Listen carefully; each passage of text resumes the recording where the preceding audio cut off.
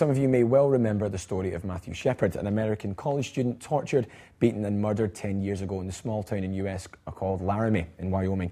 Now, just because he, and, and the, the, tragic story about that was it was just because he was gay. Now, obviously brought the issue of hate crime to international prominence with a movie and a hugely successful theatre production highlighting the lessons that society needs to learn. And with me now, I've got Adam Zane of the Hope Theatre Company and Warren Brown, a member of the company, and they're bringing an updated version of the story to the Lowry Theatre this Monday. Guys, thank you very much for coming in. Much appreciated. Thank you. Adam, I want to come to you first, if that's okay. If, can you tell us, obviously, it was such an important case in America. Can you tell me why the Matthew Shepard case was so important, and of course, your involvement in the Laramie Project? Um, it was a it was a really shocking case, and um, it was really because Matthew was just a regular boy next door, um, and people couldn't quite believe that um, his murder was so brutal. Mm. and it just kind of sent shockwaves around the world, really. Um, there were vigils held across the world, and eventually the play was written, and now it's the second most performed play in America. Yeah. Mm. And I think, obviously, the, the thing to focus on was because Matthew's murder was essentially because of his, his uh, homosexuality that really kind of brought that a, a, nation sort of came around this issue of hate crime. Yeah. And, uh, and, and therefore, can you tell us a little bit about the Laramie Project subsequently after that, the theatre production?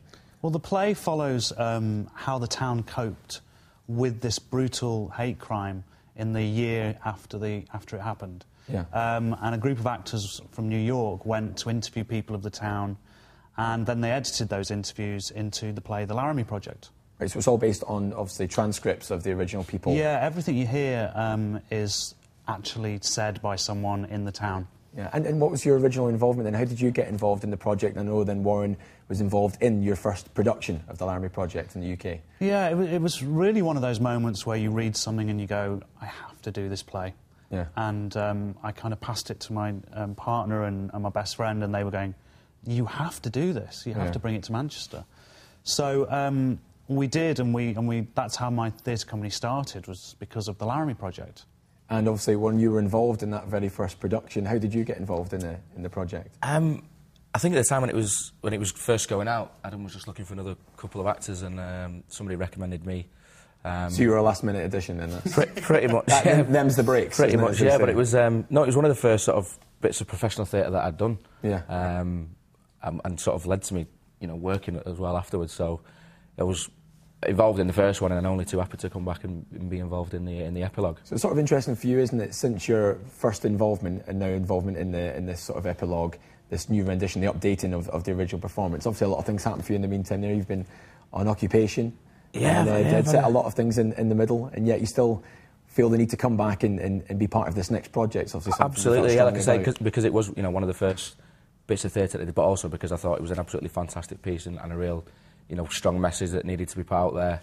Yeah. Um, and yeah, and, and, sort of since I, I have done the Laramie Project, the original, I've sort of been fortunate enough to get quite a bit of work.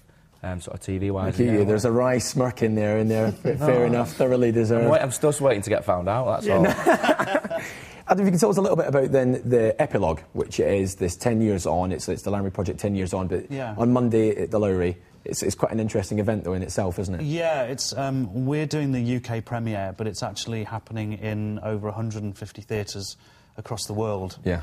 Um, so every state in America is putting on um, the play on the same night. Yeah. Um, and yeah, we just we were asked to do the play in the UK and do the premiere. So I'm glad that it's come to Manchester. You've had quite a few interesting sort of contributors or benefactors as well, should I say? A lot of people have kind of got in touch or, yeah, mean, been cajoled to get in touch correctly. Yeah, maybe no, we, um, we, um, we struggled um, because it was such short notice that we got invited to do it. Yeah. So we had a big fundraising campaign and yeah, we've a lot of friends and family and celebs don't know why I looked at you when I said celeb. Um, celebs have kind of like supported us and uh, donated, so yeah, yeah, we're able to bring it to Manchester.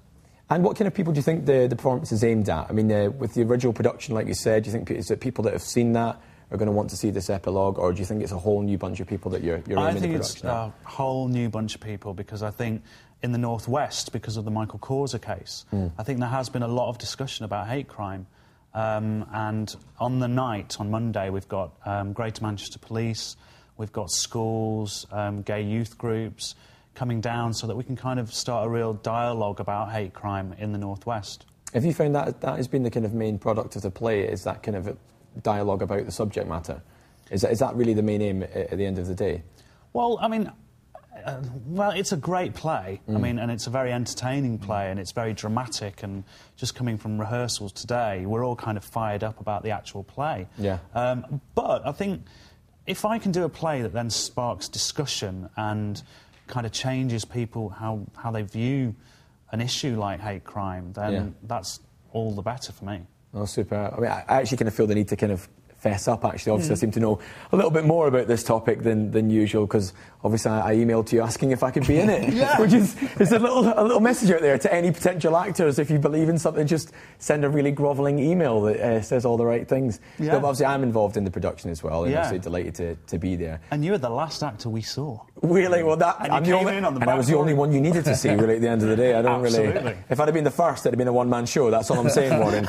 Never mind about that. But uh, also, I think uh, the, it is on Monday, like we mentioned. Monday, there's two performances. Are there tickets left for the performance? There are tickets left for the five o'clock show right. and the eight o'clock show.